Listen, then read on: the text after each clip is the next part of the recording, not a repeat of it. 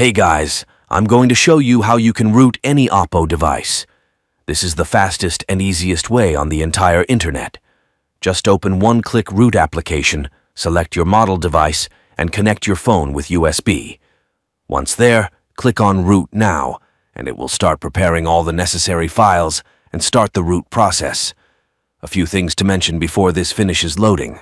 1. This process is completely reversible, so you can undo all the changes without worry. It's also 100% safe. I've had this root installed on my phone for quite a while now, and it's going to start unpacking all the packages you need. It's not complicated at all, so don't worry.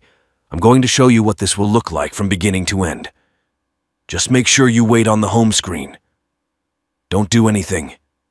And soon, depending on your Wi-Fi speed, should start finishing installing all files.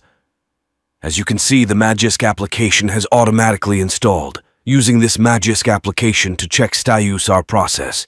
As you can see, my phone has just been rooted. The next thing you need to do is to simply head over to the pinned comments down below. There, I explain exactly where you can get one-click root application. So, just head over to the pinned comments, leave a like if this method worked for you at the end, and that's it. See you all in the next video. Bye-bye.